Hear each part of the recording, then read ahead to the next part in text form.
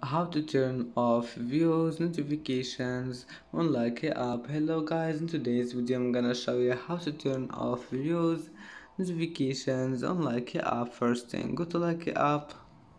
And now just click the storylines in the top corner and then click settings. And now click notifications.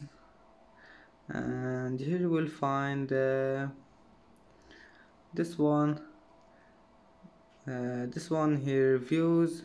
Just click on it one click. And as you see views have been turned off. And that's it. It's easy of course. And that's it for today's video. If you like this video please don't forget like and don't forget subscribe. And thank you for watching this video. Until the end. And uh, see you in the next video